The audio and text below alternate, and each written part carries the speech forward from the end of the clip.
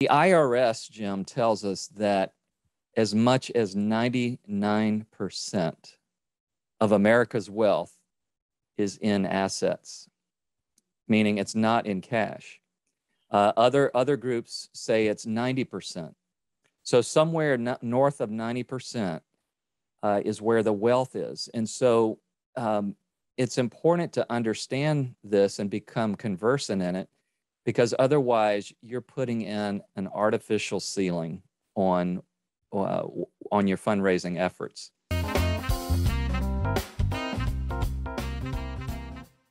Welcome, ladies and gentlemen, to the Development Effectiveness Strategies channel and the Jim and Java program, where it's our goal to help you increase income and reach that goal of becoming fully funded. Tonight, we've got a great guest on our program by the name of Eric Fleshood. Eric is the executive director of the Cru Foundation, which manages assets of $50 million in estate and gift design efforts. And Eric is a wealth of knowledge in estate giving, planned giving, asset giving, and deferred giving. And so I'm delighted to have Eric on this show. If you are not currently a subscriber to this channel, please click the, the notification to subscribe. And if you aren't already a subscriber to this channel, please do so now and click the bell to be notified of future videos like this. So, Eric, we're excited to have you on the program. Yes. Well, Jim, thanks for having me today. I'm so delighted to be talking with you and uh, to be on your show. Uh, you know, I joined Cru staff as a missionary right out of college, and my heartbeat was to um, do whatever I could do, whatever the Lord wanted me to do to help fulfill the Great Commission.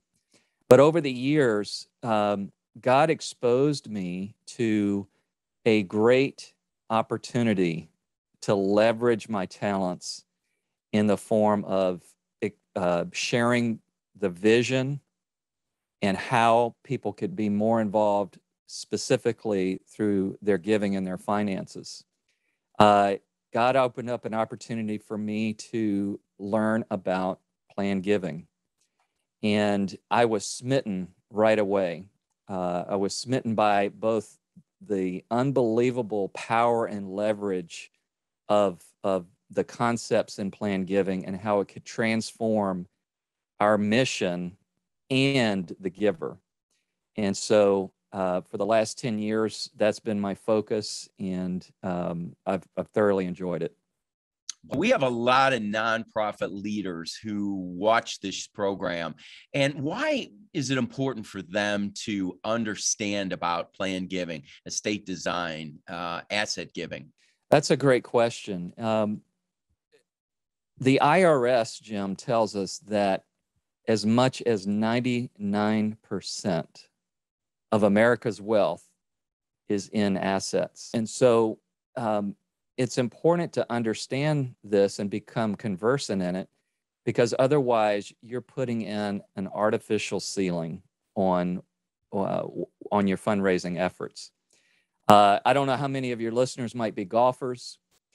Well, it was about probably 15 years into playing golf when I realized that fully 50% of the shots in a golf round are taken by one club, and that's the putter.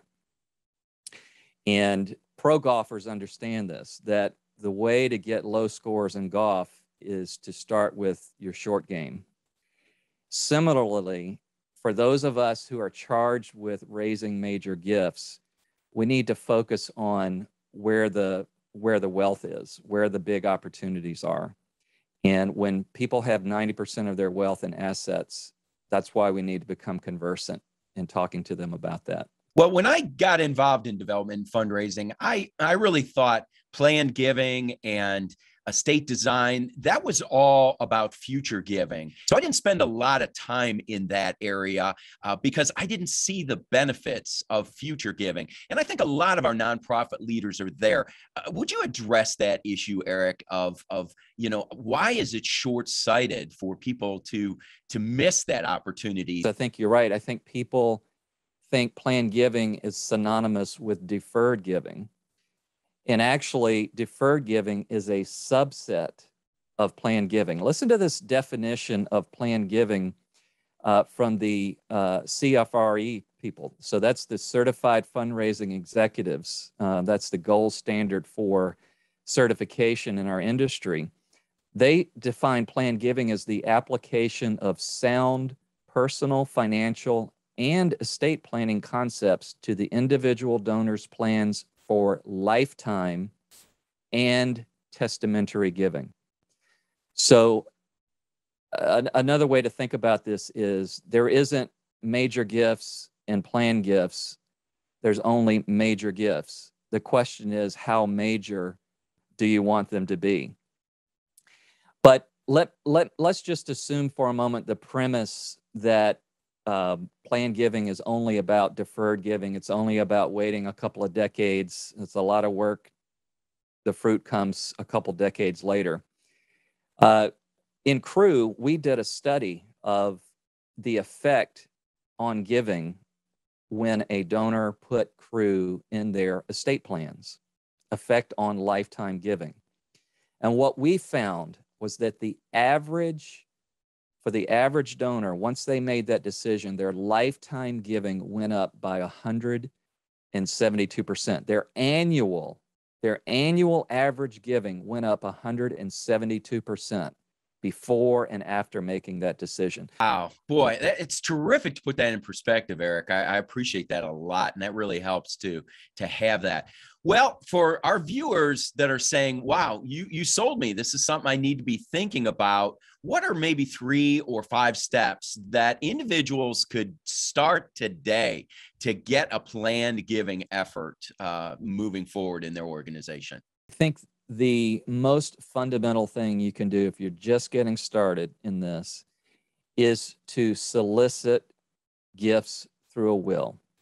Um, make that another option that people can to put in front of people. You'll be surprised at how the mere suggestion will cause people to take action on that.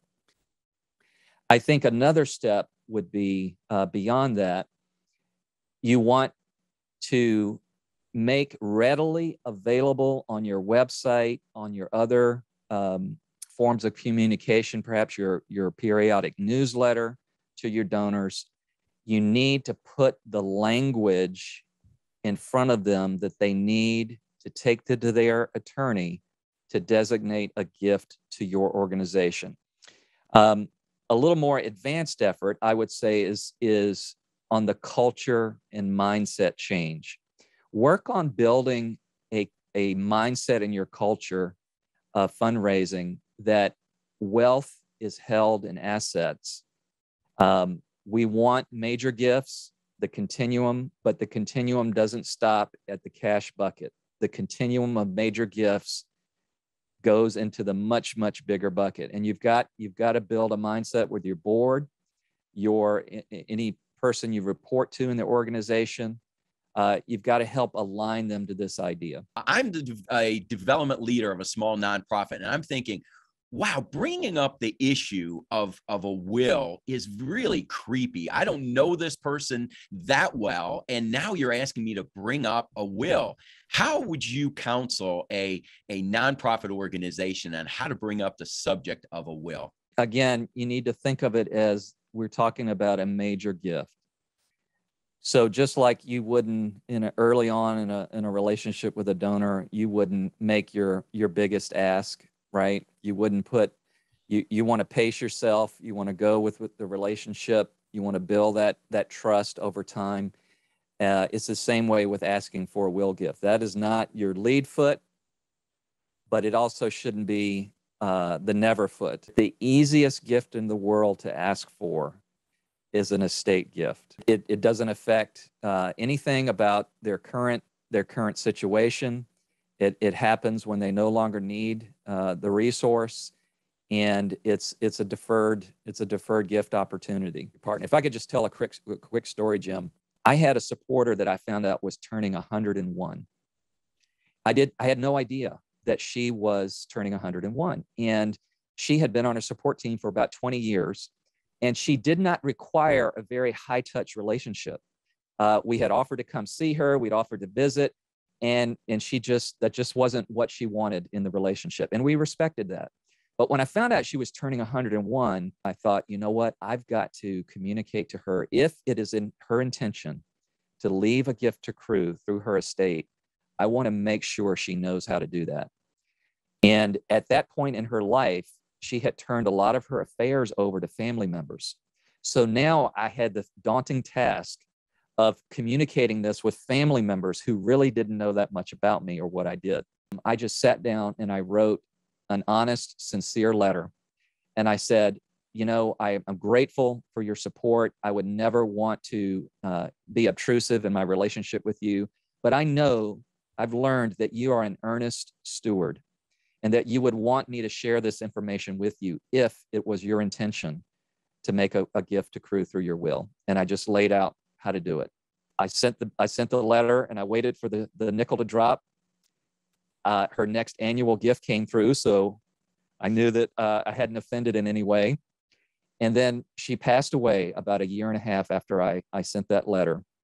And lo and behold, a gift accrue came from from the estate, a large one.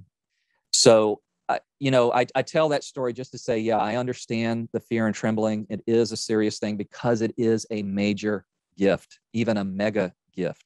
And we all should get sweaty palms at some because that shows respect for the donor. Uh, but you got to step out there in faith and, and make the ask. It's just like any other major gift ask. Hmm. Anything that you would offer through me, uh, anything from the Cru Foundation or any documents, any pieces that you've produced that uh, we could send electronically to uh, anyone who requests?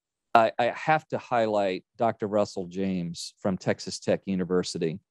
Dr. James has put a full course online on YouTube for free, and it's called Visual Planned Giving. And it is not for attorneys, and although they'll benefit, what I'm saying is it's not highly technical. It's it's made for the everyday fundraiser to get their arms wrapped around how does this work?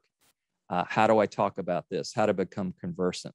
Very uh, and, and, it also comes with a free PDF um, uh, manual to go along with the videos. I'd also, uh, if you want a, little more on the inspiration side, uh, I would recommend a book called um, Wealth in Families by Charles Collier. A final book I'll recommend, Jim, is Right Side of the Table uh, by Fithian.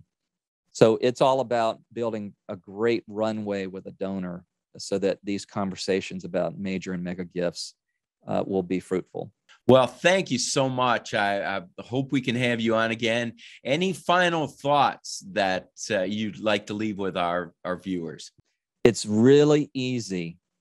It would be really easy to stay in the realm of asking for cash gifts, the kind of gifts that take most donors about 60 seconds to decide on.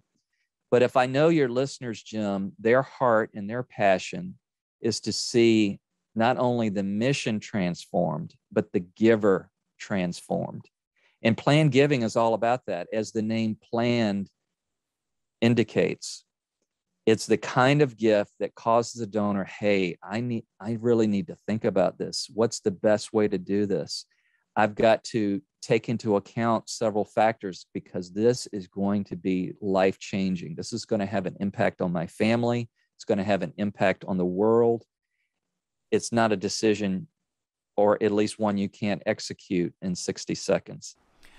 Well, ladies and gentlemen, I hope you enjoyed that message by Eric Fleshood unpacking and demystifying this area of plan giving and estate design. I hope with definitions and action steps that it allows you to move to the next level, uh, hopefully to start a plan giving effort or at least to take the step towards working in plan giving, but if nothing else, having a better understanding of what to do. So if this video was helpful to you, give it a thumbs up and click the subscribe button if you aren't already subscribed. And we've got as much many as 60% of our listeners are not subscribers. So I'd really encourage you to subscribe now and subscribe today. And of course, click the bell to be notified of future broadcasts. If you've got questions, please put those down in the comment section below. And also, if you are interested in me answering any question, you can always go out to Twitter at DevFstrats and use the hashtag Jim and Java. You can leave me some questions at, in Instagram at Dev Effectiveness Strategies or email me at developmenteffectivenessm at gmail.com. So, as always, say, it's our goal and our desire to help you increase income and reach the goal of becoming fully funded. Thank you.